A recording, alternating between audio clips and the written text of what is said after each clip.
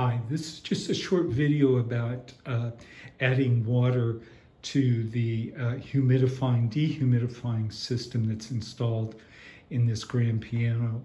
Uh, the system is always uh, plugged in and uh, so you can see the power cord right there and uh, the indicator lights for the system are just under the keyboard and uh, the green light is the power light, which should always be on. And uh, when the system needs water, uh, the water light will flash orange. And you add water only when that uh, light is flashing. Otherwise, you don't need to worry about it. So uh, let's say the system does need water, that the light is flashing, and uh, it's added uh, with this uh, watering can and you fill the watering can to the fill line, the red fill line with tap water and then add a cap full of this additive. So uh, the additive is uh, added afterwards because otherwise if you put it in first and then uh, put the tap water in, it will tend to foam up.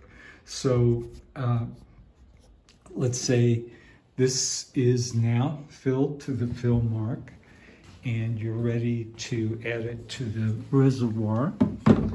And you do that through a, um, through a tube that is clipped to the bottom of the piano, just under the soundboard.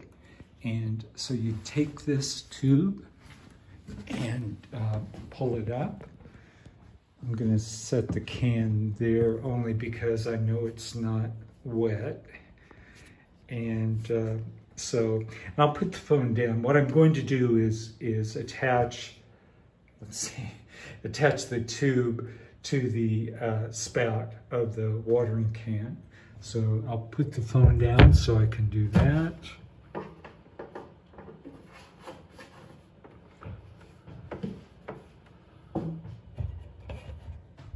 Okay, and then once the uh, once the tube is attached securely, uh, you just uh, tip the can up, of course, and uh, let the water flow in. You hold it uh, above the piano just so gravity is in your favor. And once the water has emptied completely, you just can put the can on the floor. And then that way, uh, any water that's trapped in the tube will drain back uh, into the watering can. And, uh, and then you're ready to, see if I can do this one-handed. Uh, let's see. There we go.